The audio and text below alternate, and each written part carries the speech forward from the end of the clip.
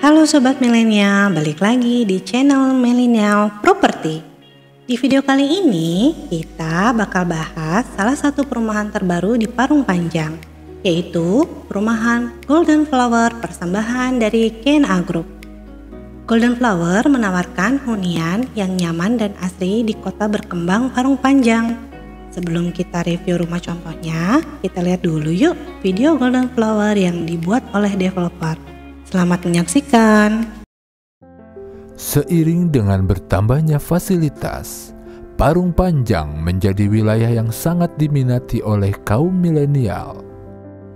Pembangunan infrastruktur yang berjalan pesat dan didukung dengan jaringan transportasi yang handal menjadi keunggulan dari Golden Flower. Golden Flower berlokasi strategis memiliki fasilitas transportasi komuter lain yang hanya berjarak 5 menit dari stasiun Parung Panjang dan eksit tol baru Balaraja Serpong. Golden Flower didevelop oleh GNA Group yang memiliki pengalaman selama 15 tahun dalam bidang arsitektur. Dengan mengusung konsep Beautiful Home, Beautiful Life, rumah keren minimalis modern dengan lingkungan yang asri. Counter cluster dan taman di Golden Flower menjadi poin yang sangat menarik dan membawa suasana dinamis dan elegan.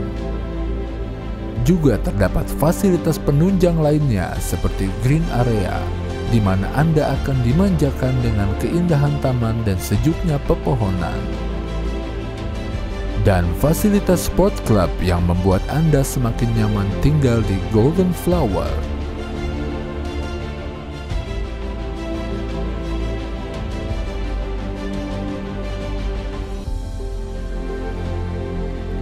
Golden Flower ditunjang dengan keamanan yang ketat, yaitu One Gate System, CCTV kawasan 24 jam, dan digital smart lock untuk pintu utama. Golden Flower menyuguhkan Anda hunian berkualitas dengan desain high ceiling, pencahayaan dan pola sirkulasi udara yang baik, pilihan material dan color scheme natural yang membawa ambience dan suasana homey sangat terasa.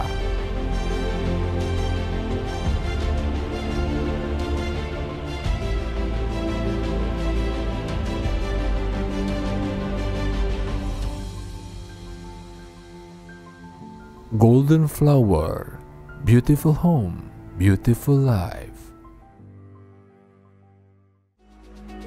Nah, gimana sobat-sobat milenial? Sekarang kita langsung aja yuk review rumah contohnya. Yang pertama ada tipe Amaryllis Premium dengan tipe bangunan 36 meter persegi dan luas tanah 50 meter persegi Rumah ini sudah dilengkapi dengan satu carport, dua kamar tidur, dan satu kamar mandi. Tipe ini juga sudah dilengkapi dengan smart door lock system loh. Selain itu juga, rumah ini memiliki ceiling setinggi 4,5 meter. Sehingga membuat rumah ini tampak lebih luas dan memiliki pencahayaan serta sirkulasi udara yang sangat baik pastinya. Di bagian belakang rumah sudah tersedia kitchen area dan sisa lahan seluas 2,5 kali 1,5 meter yang masih bisa sobat-sobat milenial kembangkan lagi nantinya. Selanjutnya, kita masuk ke area kamar tidur di tipe ini. Untuk master bedroomnya berukuran 3 kali 2,5 meter dan untuk kids bedroomnya berukuran 2,5 kali 2,5 meter dan masing-masing kamar ini juga sudah dilengkapi dengan jendela yang memiliki view langsung keluar. Di antara bagian kamar terdapat satu kamar mandi yang cukup luas, yang di dalamnya sudah dilengkapi dengan kloset duduk, shower, serta wastafel. Buat yang baru ingin memiliki rumah pertama, tipe ini cocok banget nih untuk sobat-sobat milenial. Selanjutnya, kita akan ke tipe yang paling besar di klaster ini. Ada tipe krisan dengan luas bangunan 47 meter persegi dan luas tanah 84 meter persegi. Tipe ini sudah memiliki satu carport, tiga kamar tidur, dan dua kamar mandi. Dan di bagian pintunya juga sudah menggunakan smart door lock system, masih dengan konsep high ceiling dengan jendela-jendela besarnya membuat rumah ini tampak terlihat mewah dari luar maupun di dalam ruangannya. Di tipe ini sudah tersedia tiga ruangan kamar, yang salah satunya bisa sobat-sobat milenial manfaatkan sebagai working space area selama pasca pandemi seperti saat ini.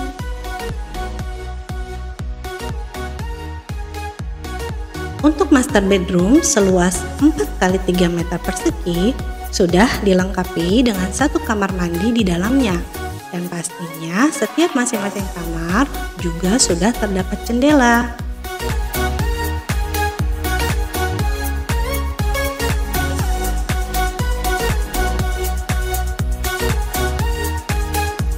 Untuk masing-masing kamar mandinya juga sudah dilengkapi kloset duduk, shower, serta wastafel.